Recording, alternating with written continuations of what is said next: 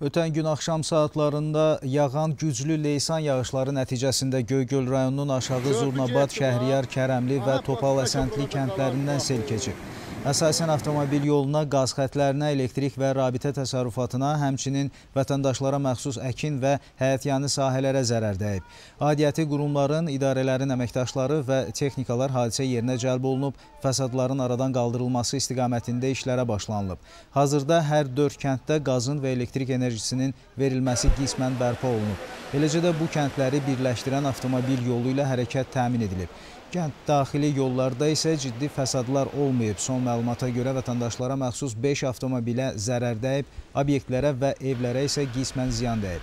Hazırda komissiyanın əməkdaşları tərəfindən araşdırmalar aparılır, dəymiş ziyanlar hesablanır.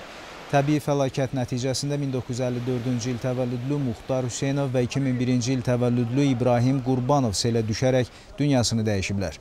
İndi biz hadisə yerində olan əməkdaşımız Orxan Cəfərzadəyə bağlanırıq. O bizə görülən işlər barədə daha ətraflı məlumat verəcək. Orxan, söz sizdədir.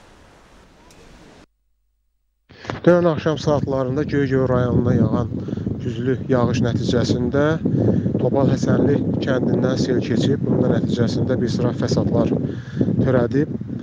E, belə ki, 5 avtomobilə ziyan dəyib. Sel nəticəsində o avtomobillərdən ikisi tamamilə yararsız hala düşüb. Eyni zamanda e, bir istirahət məkanına ciddi ziyan dəyib. E, can itkisi isə 2 can itkisi baş verib. Yəni sel nəticəsində 2 nəfər e, Gəncə sakini e, sel nəticəsində dünyaları dəyişiblər.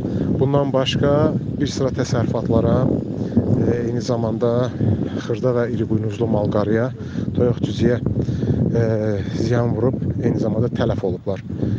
Bundan başqa hazırda kənddə elektrik enerjisinin verilməsində heç bir problem yoxdur, ancaq e, qazla bağlı hazırda fasilə yaranıbdır. Çünki qazın sel nəticəsində e, qaz təsərrüfatına ciddi ziyan dəyib.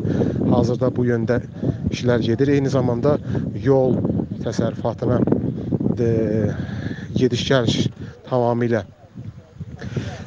gediş-gəlişdə heç bir maneə yoxdur və hazırda da Göygöl Fövqəladə Hallar Komissiyası tərəfindən e, fəsadların aradan qaldırılması istiqamətdə işlər davam eləyir.